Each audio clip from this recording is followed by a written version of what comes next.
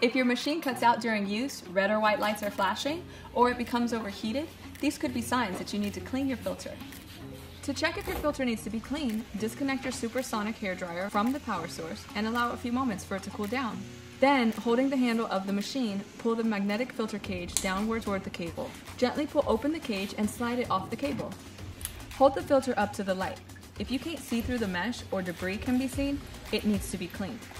To continue in the meantime, replace the filter cage with the spare one that was included with your machine.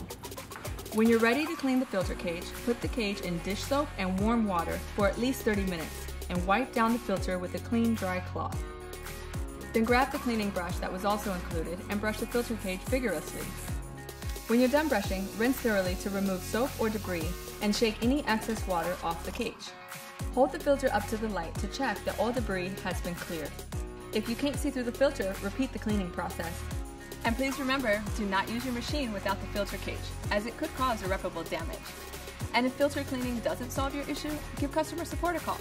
They'll be happy to help.